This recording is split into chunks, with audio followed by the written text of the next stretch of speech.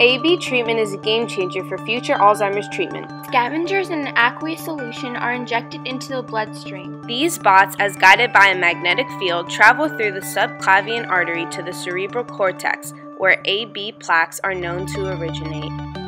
Upon arriving at the cortex, scavengers are able to permeabilize the blood brain barrier, or BBB, via the activation of a specific radiofrequency EMF. Having reached their target location, scavengers take a preliminary scanning of plaque concentration and transfer both their location and data to an external database.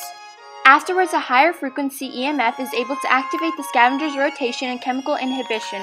Eventually, rotation stops and scavengers exit the cortex. Because there are currently thousands of chemical inhibitors under investigation, scavengers are first viewed as a potential game changer for clinical studies. This would eliminate external variables and prove more conclusive in paving the way towards a cure for Alzheimer's disease.